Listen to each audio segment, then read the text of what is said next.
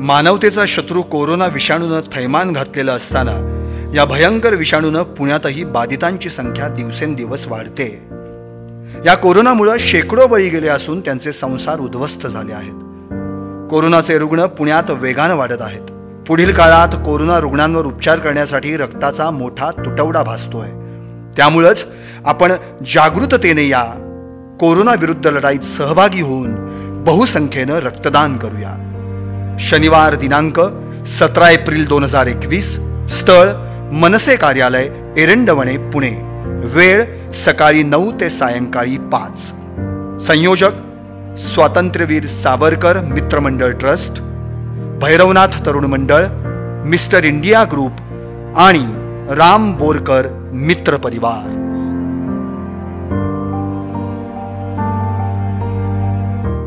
आज शासनाला महसूल देणारा पोटवर खायला देणारा देशाचा पोशिंदा असलेल्या शेतकऱ्याकडे आपले लक्ष नाही. त्यामुळे शेतकऱ्यांचे उत्तरदायित्व सरकारने स्वीकारायला हवे असं मत माजी राज्यमंत्री सदाभाऊ खोत यांनी व्यक्त केले नरे येथील Jadhavar group of इन्स्टिट्यूटच्या doctor Sudhakarrao Jadhavar social and education ट्रस्टतर्फे Bharat Ratna doctor Babasaheb Ambedkar यांच्या जयंतीनिमित्त पहिली भारतरत्न डॉक्टर बाबासाहेब आंबेडकर ऑनलाईन व्याख्यानमाला आयोजित करण्यात आली आहे. त्यामध्ये सदाभाऊ खोत हे डॉक्टर आंबेडकर यांचे ग्रामीण धोरण याविषयी बोलत होते. लायन्स क्लब इंटरनॅशनल व Lions Club of Global teachers यांच्या सहकार्याने ही व्याख्यानमाला होत आहे. जाधवर ग्रुप ऑफ इन्स्टिट्यूटच्या यूट्यूब पेजवरून ही व्याख्याने प्रसारित होत आहेत. सदाभाऊ खोत म्हणाले शेतकऱ्यांना पायाभूत सुविधा सरकारने द्यायला हव्या. नवे तंत्रज्ञान बी बियाणे पाण्याचे नियोजन असायला हवे. कोरडवाहू शेतीला बागायत करायला हवे असा विचार करणारे डॉक्टर आंबेडकर हे भारतीय अस्मितेचे प्रतीक होते. आजच्या काळात आपण शेतकऱ्यांना सर्वतोपरी मदत केली पाहिजेत पण आम्ही त्या दिशेने काम करत नाही. ग्रामीण भागात पारंपरिक उद्योग ग्रामीण भागात राहिलेले नाहीत अशी खंतही त्यांनी यावेळी व्यक्त केली. डॉक्टर बाबासाहेब आंबेडकर व आरक्षण नीती या विषयावर सावित्रीबाई फुले पुणे विद्यापीठाच्या परीक्षा विभागाचे उपकुलसचिव लोखंडे सर यांनी विचार मांडले. ते म्हणाले डॉक्टर बाबासाहेब आंबेडकरांचा खडतर प्रवास थक्क करणारा आहे. घटनेच्या माध्यमातून तळागाळातील लोकांना आरक्षण मिळाल्याने त्यांची उन्नती होत आहे. स्वातंत्र्यपूर्व काळात आणि स्वातंत्र्योत्तर काळात आरक्षणाविषयी वेगळा प्रवास आहे. मात्र आज बहुतांश लोक आरक्षणाचा फायदा घेऊन स्वतःची प्रगती करत आहेत. इन्स्टिट्यूटचे उपाध्यक्ष ॲडव्होकेट शार्दूल जाधवर म्हणाले शिका संघटित व्हा आणि संघर्ष करा असा संदेश देणाऱ्या समाज सुधारकांपैकी महत्त्वाचे व्यक्तिमत्व असलेल्या डॉक्टर बाबासाहेब आंबेडकर यांच्या विचारांचा प्रचार व्हावा या उद्देशाने व्याख्यानमालेचे आयोजन करण्यात आले असल्याचे त्यांनी सांगितले. आम्ही मोठी कारखानदारी आणली. पण गावातली रोजंदारी आम्ही संपवली.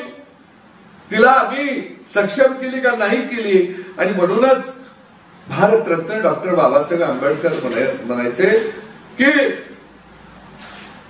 शासनाला महसूल देणारा दोन वेळा पोटवर खायला घालणारा या देशाचा जो पोशिंदा आहे जो शेतकरी आहे त्याचं उदरदायित्व हे सरकारनं स्वीकारलं पाहिजे. म्हणजे सरकारनं त्याला मोठ्या प्रमाणामध्ये मदत केली पाहिजे. आणि खऱ्या अर्थानं आम्ही मात्र त्या दिशेनं काम अजिबात केलं नाही. त्यामुळं गावात आज दुर्बीण लावून शोधायला सुद्धा बारामुलकेदारी राहिली नाही. छोटे छोटे उद्योग जे पारंपरिक उद्योग जे आमच्या गावातच होते ते राहिले नाही. आम्ही स्वयंपाक करायला मडकं सुद्धा गाडग सुद्धा आम्ही गावातनं आणत होतो. आमचा थंड उन्हाळ्याचा फ्रीज सुद्धा तयार कुंभाराच्या घरी गावातच तयार होत होता. आमचा तो फ्रीजही नष्ट झाला. कुंभाराचं चकारही नष्ट झालं. त्याला आधुनिकतेची जोड आम्ही द्यायला पाहिजे होती. यांत्रिकीकरणाची जोड आम्ही द्यायला पाहिजे होती. तोच आमचा खरा उद्योजक आहे.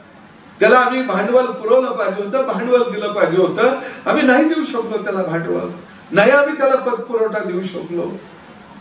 म्हणजे आज खऱ्या अर्थानं आधुनिकतेचा विचार करत असताना जग आज खऱ्या अर्थानं एकदम सुसाद सुसाट सुटलेला आहे.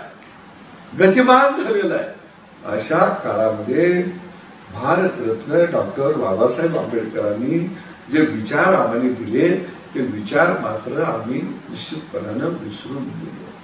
त्या विचाराशी आम्ही या ठिकाणी फारकत घेतली. आणि म्हणून निश्चित या व्याख्यानमालेच्या माध्यमातून भारतरत्न डॉक्टर बाबासाहेब आंबेडकर यांचा विचार शेतीच्या बाबतीमध्ये काय होता हे सर्व समाजापर्यंत पोहोचवण्याचं एक चांगलं काम या ठिकाणी होत आहे. सरकारला सर्व पायाभूत सुविधा शेतीला द्याव्या लागतील. आणि तिथं मोठी गुंतवणूक सरकारनंच करावी लागेल अशा पद्धतीची भूमिका मांडणी तिने त्या का- काळामध्ये घेतली. आणि म्हणून खऱ्या अर्थानं ते शेतकऱ्याचे सुद्धा उद्धार करते होते शेतकऱ्यांचे सुद्धा ते कैवारी होते हे मात्र कधी फुडवू शकलं नाही. कारण भारतरत्न डॉक्टर बाबासाहेब आंबेडकर किंवा छत्रपती शिवाजी महाराज असतील ही जी काही व्यक्तिमत्व होऊन गेली मग महात्मा ज्योतिबा फुले असतील ही जी काही आमची व्यक्तिमत्व होऊन गेली ही व्यक्तिमत्व राजकारण्याने आणि त्या त्या समाजातल्या धोरणीने हुशार लोकांनी ते स्मित केली. ती आपल्या समाजापुरती लिमिटेशन ही व्यक्तिमत्व केली. आणि ते त्या त्या समाजापुरती लिमिट व्यक्तिमत्व राहावी ती. या भूमिकेतून चातुर्यातून आमच्या राजकारण्यांनी सुद्धा त्याला थोडा आपण त्याला बढावा म्हणून किंवा त्याला पुशअप करण्याचं काम जाणीवपूर्वक केलं गेलं.